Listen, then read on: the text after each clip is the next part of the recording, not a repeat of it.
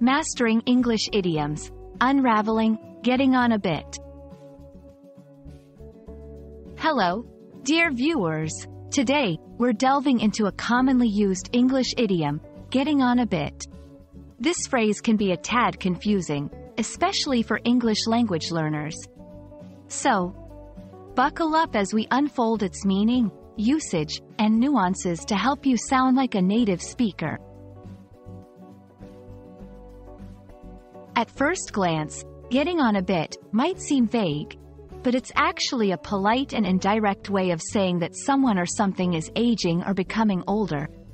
It's often used to refer to people, pets, or objects in a way that's gentle and somewhat humorous.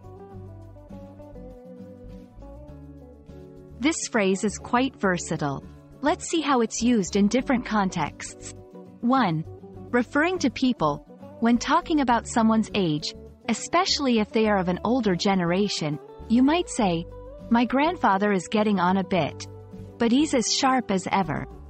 This acknowledges their age without being blunt or disrespectful. 2. Referring to pets. Similarly, for pets, you could say, My dog is getting on a bit, so he's not as energetic as he used to be. 3. Referring to objects. Even for inanimate objects, this phrase is applicable. For instance, this car is getting on a bit, but it still runs smoothly. While getting on a bit is widely understood and used in English-speaking countries, it's important to approach the topic of age with sensitivity. Different cultures have different attitudes towards aging and discussing someone's age. This idiom offers a softer, more respectful way to approach the subject. So there you have it, folks.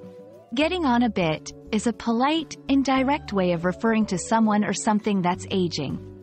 It's a phrase that adds a touch of delicacy and humor to conversations about age. We hope this video clears up any confusion and helps you use getting on a bit confidently in your daily conversations. Thanks for watching, and keep practicing your English with us.